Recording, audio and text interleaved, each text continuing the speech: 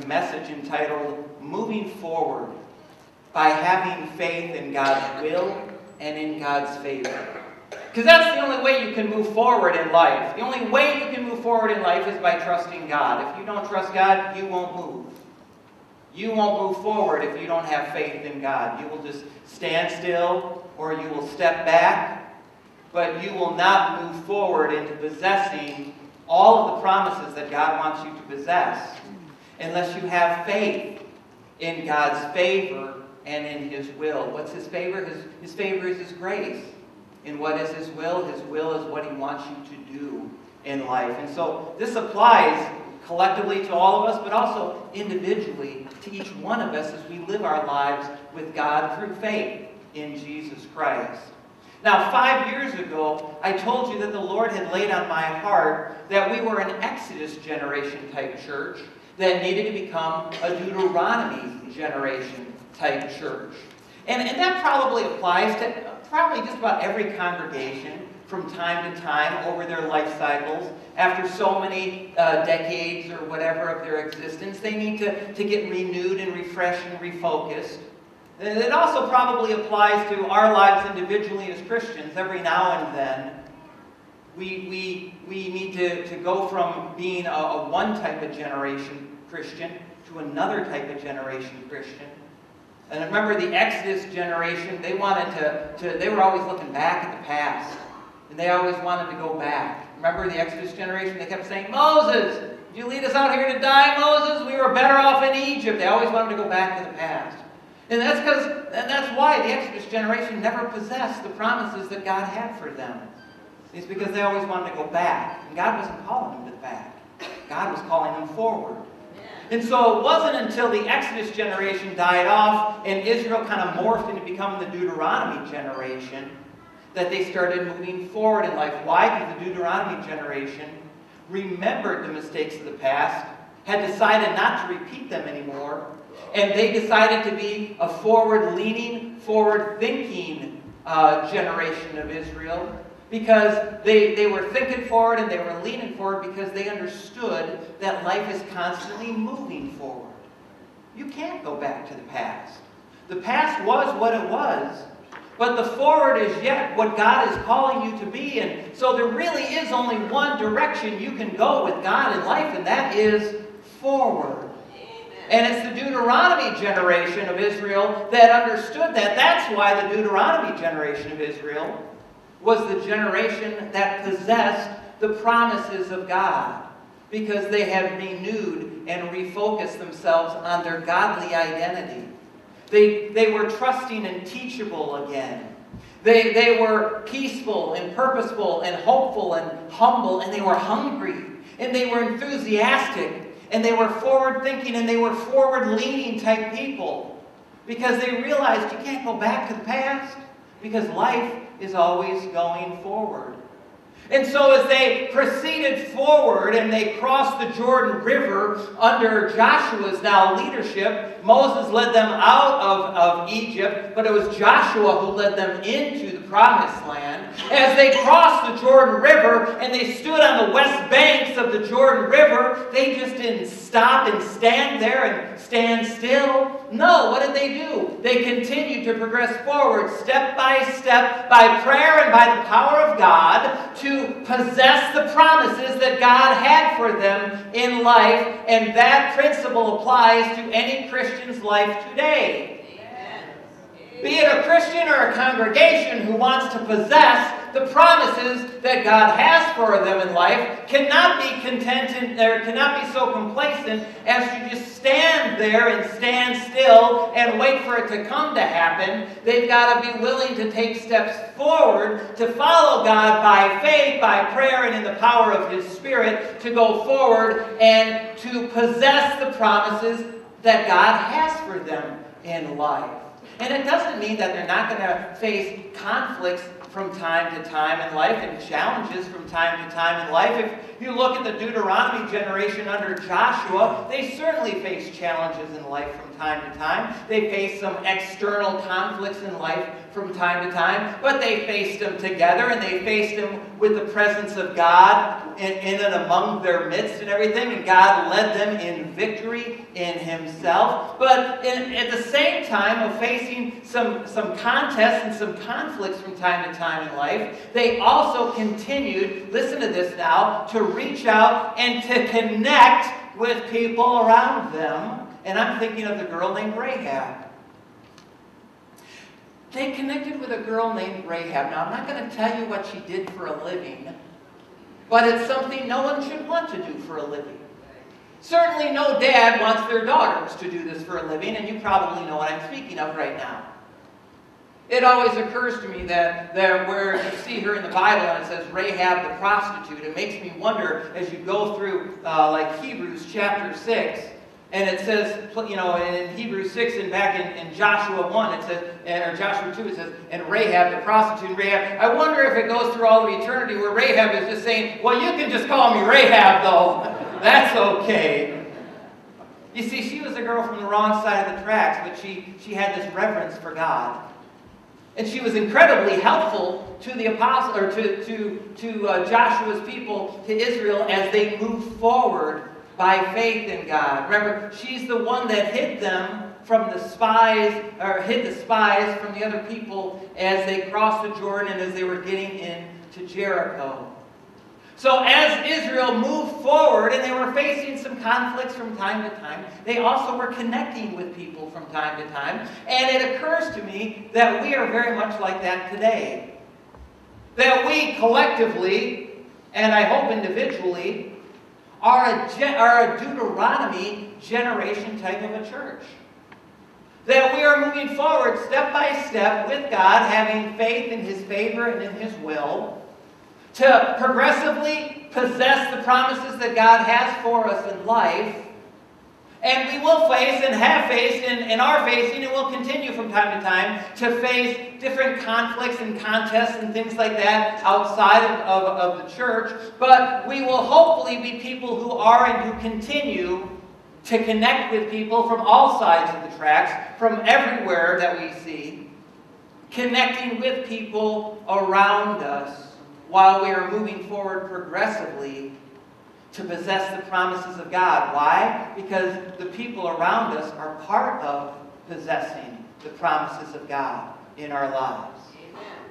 You see, part of the will that God has for us is that we would not be an island unto ourselves, just like no Christian is an island unto themselves, but that we would be pressing forward and reaching out to connect with people around us. That's part of possessing the promises of God are the people that we connect with in life. And the same advice and counsel that Moses gave Joshua, I feel God is giving us today.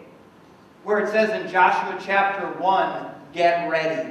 Amen. Get ready to enter into the promises of God to be strong and be courageous and to be careful not to depart from the Word of God, but to do everything written in it. Look at that, and you will be successful. If you will be strong, if you will be courageous, if you will be careful to not depart from the Word of God, but then to live the Word of God, God promises you will be successful in everything you do because the Lord your God is with you.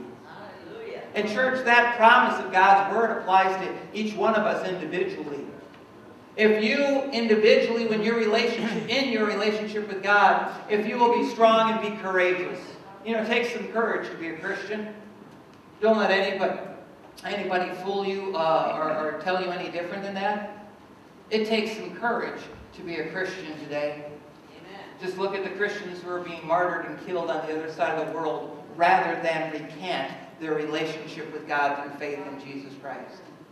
It takes some courage to be a Christian today in the world that we live, at home, at work, in school, in our communities, and in our countries. But if we'll be strong, if we'll be courageous, if we'll be careful to do what the Word of God says in our lives, then God promises that you will be successful in life because the Lord your God will be with you. It doesn't mean you won't run into some bumps and bruises along the way. But it does mean that, thanks be to God, He will always lead us in victory in Christ Jesus. Amen? Amen? And part of moving forward with God also includes making plans by prayer and by pragmatics. What do I mean by that? Well, you can't move forward in life individually or collectively unless you start making plans. You got to start making, and I think as Christians, we ought to make all our plans by prayer. Lord, what do you want us to do? Because we want to keep in step with your spirit. We want to live out your will in our lives. And also, I'm a pragmatist. I think you need to look at life pragmatically.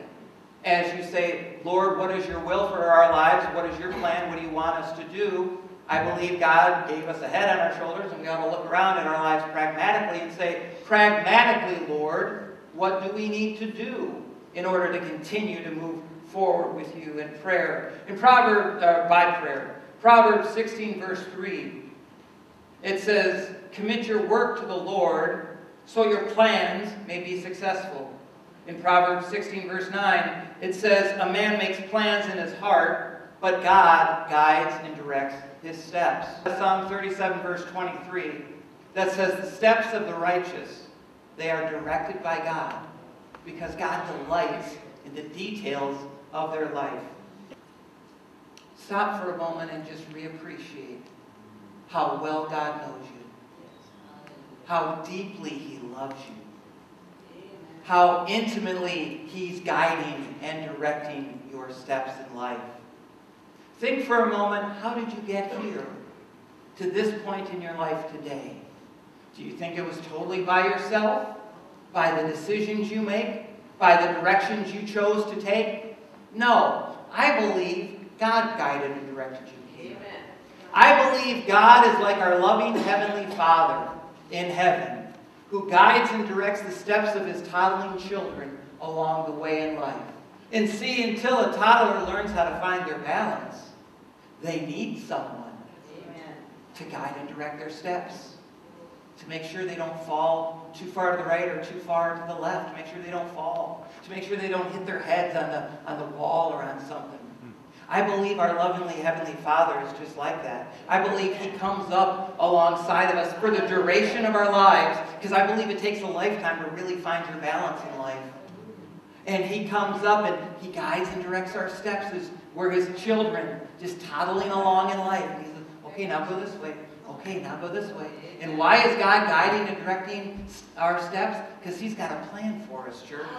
He's got a purpose for us. He's got a will, and He wants to he wants us to find out the way to do His will in our lives. And so what does He do? He guides and directs our steps. You think about where you are at now in life compared to where you were decades ago. Do you really think it's only because of the decisions you made and the paths you chose to take? Do you really not think that it is not God living out the scripture in your life, that He has guided and directed your steps, that they are ordered of God because He so loves you he so delights in every detail of your life. Our, our loving Heavenly Father is a, is a wonderful, loving Heavenly Father. Now listen, because we know this about God, because God knows us intimately, and He cares for us deeply, it ought to make following Him by faith just a little bit more fun, shouldn't it? I mean, following God by faith should be fun when you trust that He's taking care of you when you trust that He's guiding and directing your steps. I mean, so many times we wind ourselves up like a spring, don't we? We get all wound up inside, trying to strive to, to know God's will and to do God's will. Oh, I just got to know God's will. We get all hot and bothered by wound up so tight within us. Got to know God's will. Got to know God's will. Got to do. How do I do God's will? How do I know God's will? How do I do God's will? We get so wound up like a spring. My heavens! Eventually, that spring's going to break, isn't it? If you don't unwind that spring from time to time, keep whitening up tighter and tighter and tighter, eventually that thing's just going to pop, isn't it? Well, see, a person who really trusts Psalms 37 23 to be active and alive in their life, God guides and directs their steps, that's the kind of Christian that ought to be able to relax a little bit more in life. That ought to be able to unwind that spring because they trust that God is going to lead, guide, and direct them in His will. Another part of moving forward with God, speaking of God's will, is trusting God's will. You can't move forward in life unless you trust the will of God in your life. And there's no greater evidence of having faith in God than to trust the will of God in your life. But sometimes there's a struggle in there, isn't it? Sometimes there's a contention between our will and God's will. I mean, after all, we know what we want in life. We want what we want.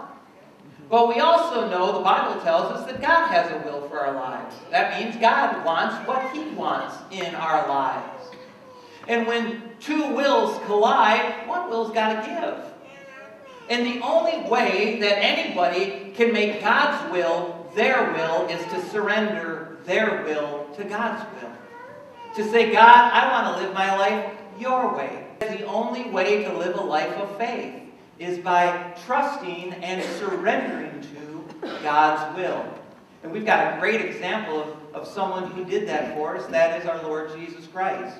When he was in the Garden of Gethsemane, two wills collided his human will and his divine will. His human will, understandably, did not want to go to the cross. His human will did not want those spikes going through his wrists and through his feet. His human will did not want to be flogged beyond belief and beyond human recognition. His human will did not want to bleed profusely and die of suffocation on the cross uh, in a most agonizing form of death. His human will did not want to bear the sins of the world, and that is something you and I cannot even begin to comprehend what that would be like.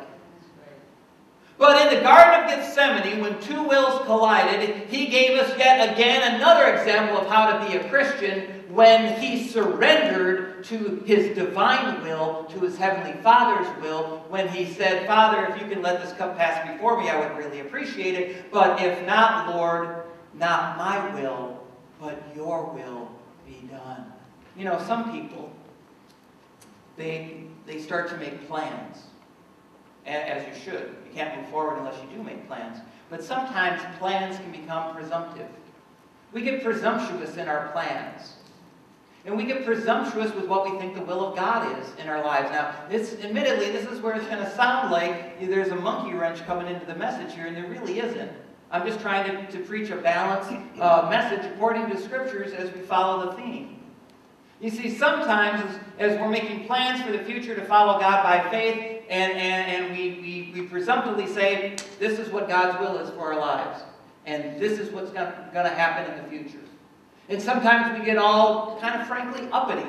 Not arrogant necessarily, although sometimes it could be arrogance, but just we get resolved in our conviction. We know this is what, you know, if this was a wood pulpit, that would sound so much better. We know what is going to happen. You know, this thing doesn't resonate at all. But we know, and we pound our fist on the pulpit and we say, this is what's going to happen. This is what we're going to do. It's definitely going to work, and we're going to go that way, and that is God's will for our lives.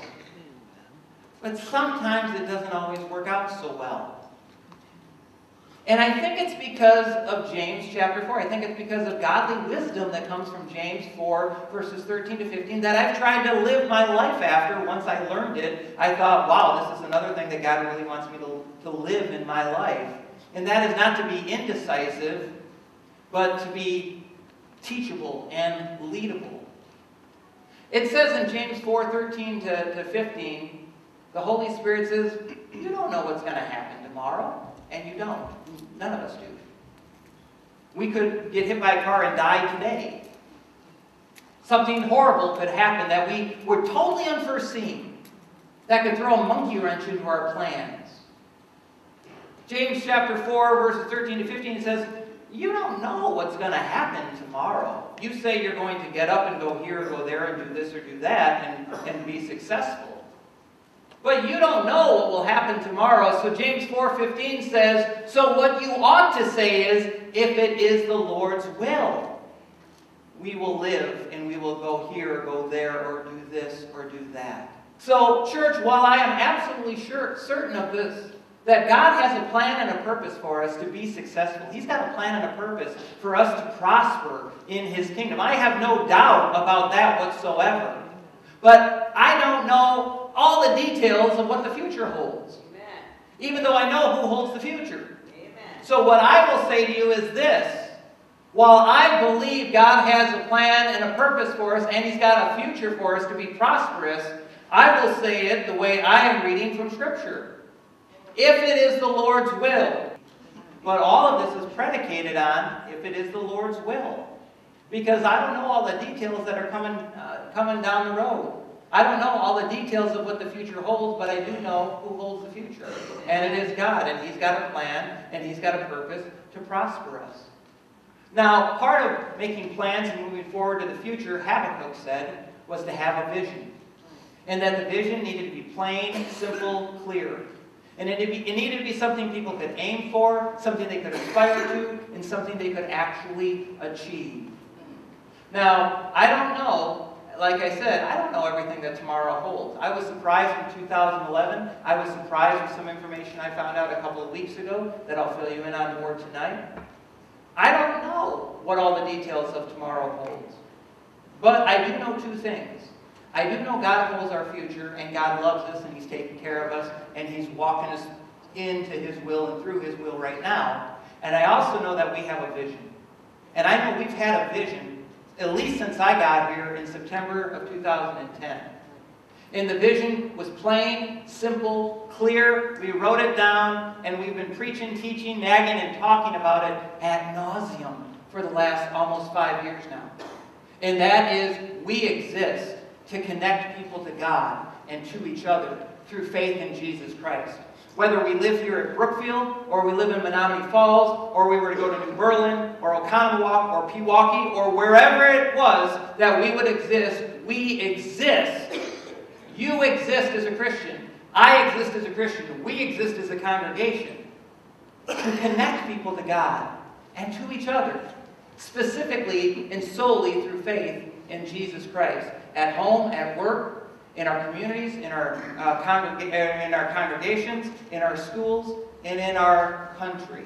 That's our mission, that's our motto, and that is our mandate that we have from God because it fits the Great Commission and the Great Commandment to love God and love our neighbors as ourselves, and to go and make disciples of all people, baptizing them in the name of God the Father, Jesus the Son, and the Holy Spirit. If we're not doing this, if we're not doing our mission, our motto, and our mandate, then all we're talking about is building buildings.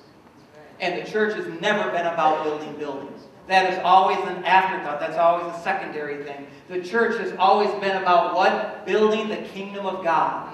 One person at a time by connecting people to God and to each other through faith in Jesus Christ. It might seem like a little thing, but it's a foundational thing. It's a fundamental thing which means you can't do a bigger thing than connecting people to God through faith in Jesus Christ. Listen to me, church. Islamic terrorists have done a really good job showing the world that Satan has come to kill, steal, and destroy life. The church needs to start getting loud and proud and doing a better job at telling the world that Jesus has come to give life and life more abundantly. While we might not be able to do that in Afghanistan and in Iraq, we can certainly do that here in Brookfield. We can do it in New Berlin. We can do it in Menomonee Falls. We can do it in Oconomowoc in Hartland. We can do it in Dousman. We can do it in Pewaukee. We can do it wherever our feet are planted, church. We just need to be doing it. Amen?